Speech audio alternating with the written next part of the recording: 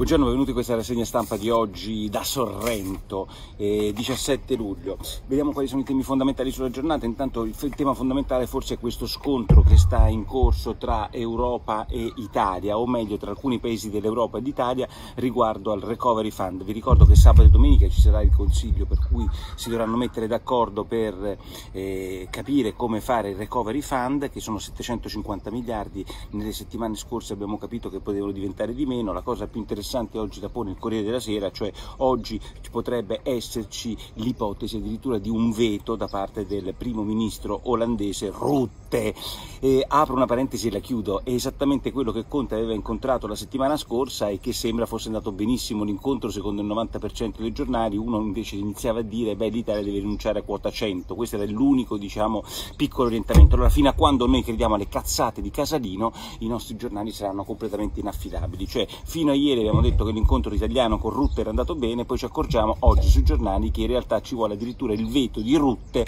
all'accordo eh, sul recovery fund. Complimenti per la stampa e per i ritroscenisti italiani che hanno colto esattamente il senso di quello che era arrivato in Europa, veramente un bellissimo scoop quello dei giornali italiani. Oggi ehm, Parsi dice che ehm,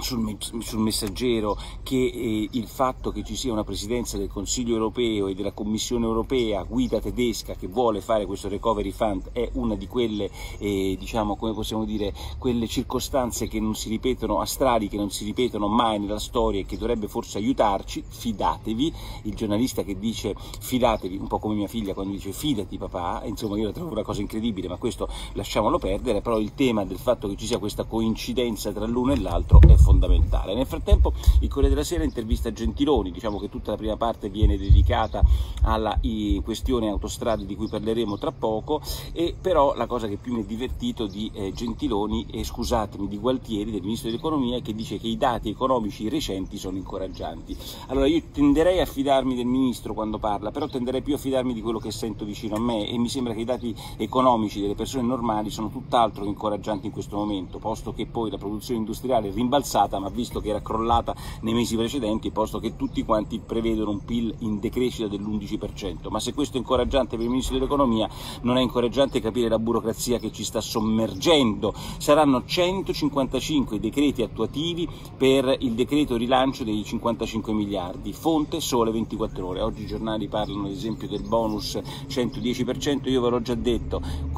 è tutto quello che volete, una bella idea, eccetera, non verrà applicato da nessuno del forum di questo bonus 110% se, se lo pezzicheranno e no qualche casa popolare gestita dai comuni locali, per il resto è totalmente inattuabile. Dicevo che Gualtieri nella sua prima parte di intervista parlava di autostrade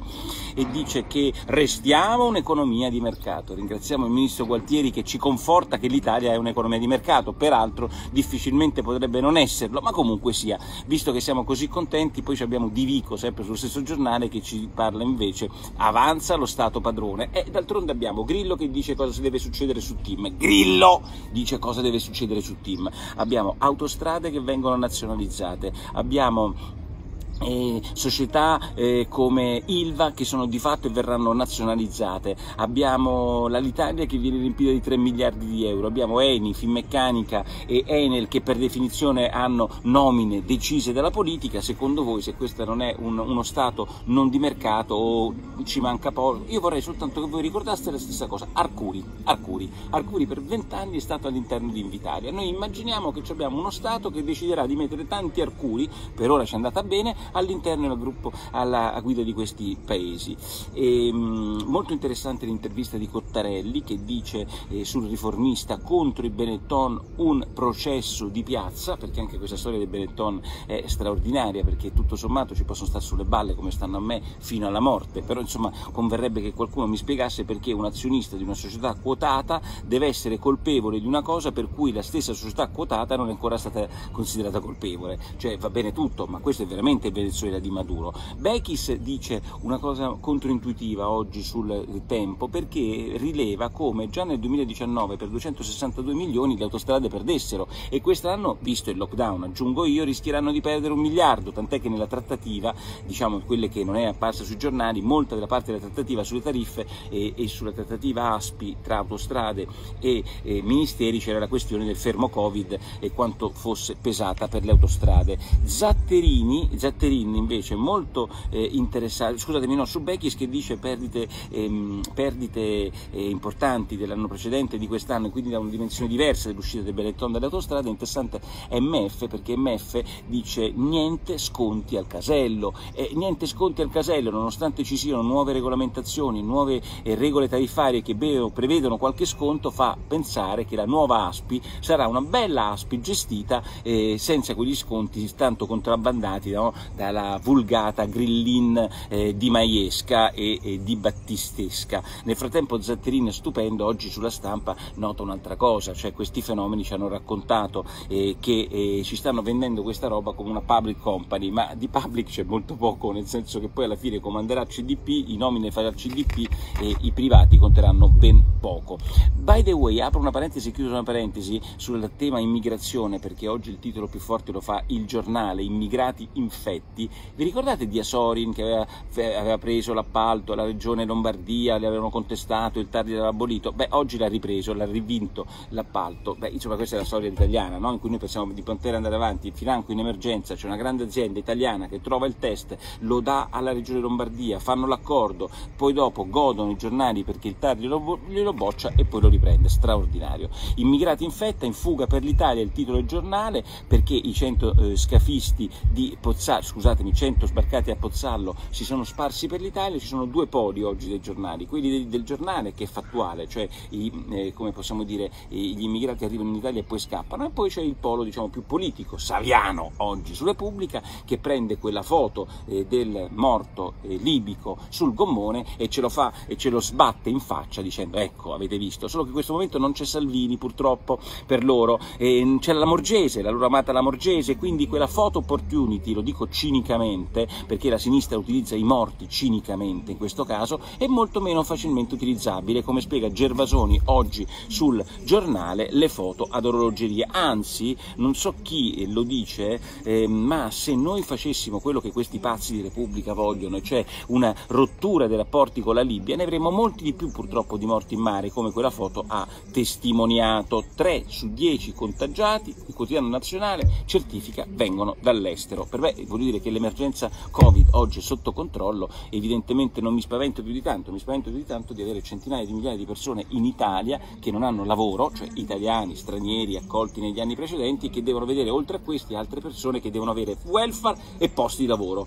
Una roba da matti, oggi uno dovrebbe dire ragazzi in Italia per favore non venite, non per il Covid, ma perché purtroppo oggi non c'è lavoro per tutti, vi volete ricongiungere, volete fare bambini, fate quello che vi pare, però qua in Italia lavoro oggi in questa situazione di bomba sociale, io starei un pochino attento ad accogliere centinaia di migliaia di persone con un welfare che già oggi sta scoppiando, ma la sinistra di questo non si occupa. Fantastica la notizia che i giornali non danno se non in piccolissima mh, mm, luce ed è quella che mi sta riguardando a me. Vedete questi raggi del sole? Secondo una ricerca italiana questi raggi del sole ucciderebbero il Covid. Io non so se sia vera o sia sbagliata, ma se la ricerca italiana, come talvolta è successo, riguardava il Covid uccide più della malaria, non lo so, tutte le prime pagine dei giornali, invece quando c'è una semiscoperta così semplice che ci porterebbe anche a capire per quale motivo improvvisamente questo Covid non c'è più come prima eh, qualcuno presupponeva, cioè che con il sole non ci sarebbe stato, beh insomma si mette in secondo piano. Tamponi per il rientro dall'estero degli stranieri, questa è invece l'ipotesi di cui parla il movimento eh, Il Messaggero. Beh, ehm, stupendo oggi Brunello Cucinelli,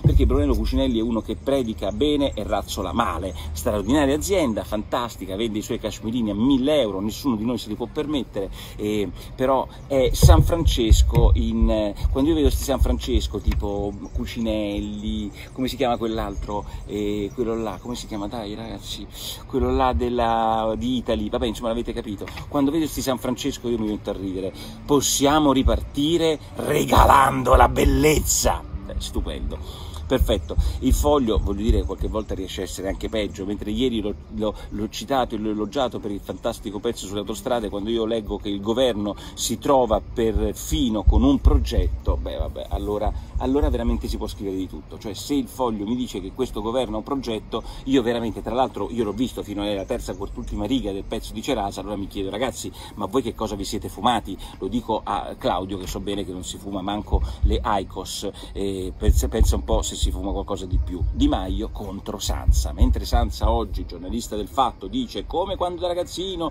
mi buttavo da quella scogliera, in maniera lirica ci racconta quel momento in cui si sta per buttare dalla scogliera e in quel momento non può far più nulla, ormai l'ha fatto il passo, beh insomma quello di candidarsi alla guida della Liguria, beh dall'altra parte leggo sui giornali che Di Maio è furibondo, così come Grillo, perché dice ci ha sempre attaccato. Beh insomma questa storia di eh, Movimento 5 Stelle è fatto che è un incrocio di amorosi sensi che alla fine si dispiega in candidature, in nomine all'interno del Consiglio di amministrazione dell'ENI, in prestiti, io ci godo sempre come un riccio perché loro sono i più puri di tutti. Da Sorrento vi do un grandissimo abbraccio, anzi forse ve la faccio vedere Sorrento, guardate che bella che è. Vedete? Eccoci qua.